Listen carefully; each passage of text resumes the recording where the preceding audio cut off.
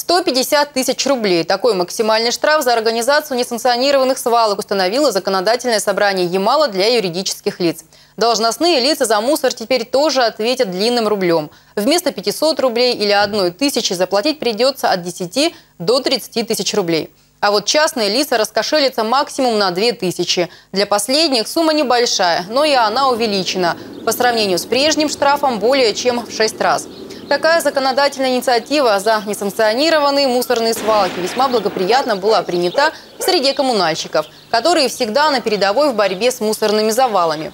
Но, говорят они, этой меры недостаточно для того, чтобы полностью избавиться от проблемы. Есть такая информация, что, допустим, торговая компания, которая осуществляет торговую деятельность, она должна иметь договор на вывоз мусора или утилизацию мусора. Но у многих компаний этого нету. И как бы я не знаю в законе, чтобы прописать как-то это, что если компания работает, то у нее в любом случае есть отходы. В любом случае. Как бы там ни говорили, что они бумагу сдают в макулатуру, там, э, гниющие продукты свои они удобряют, там это. Ну, кон, да, но контейнерные площадки от этого меньше не становятся. И овощи, фрукты, гнилые, это все появляется на контейнерных площадках, которые мы потом убираем. Дело в том, говорят коммунальщики, что пока у нас нет закона, который бы предписывал магазинам или предприятиям в обязательном порядке заключать договоры на вывоз мусора. Нерадивые предприниматели стараются сэкономить на этой статье.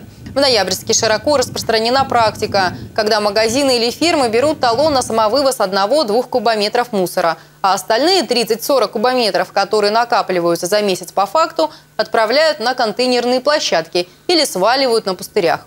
И заставить их действовать по-другому законными методами невозможно. А чтобы применить штрафные санкции, надо доказать, кто именно устроил несанкционированную свалку. А это весьма-весьма проблематично. Именно поэтому в ноябрьские удаленные районы, самострой и другие поселки славятся стихийными свалками из гнилых овощей и прочих, потерявших товарный вид продуктов – и только снег на время прячет это безобразие. Эти чистые горки весной, когда солнышко выглянет и растает, они превратятся в горы мусора. Вы это наглядно можете потом весной также приехать и снять. Вот видите, под ними все это вид. Это все уйдет в лес, утекет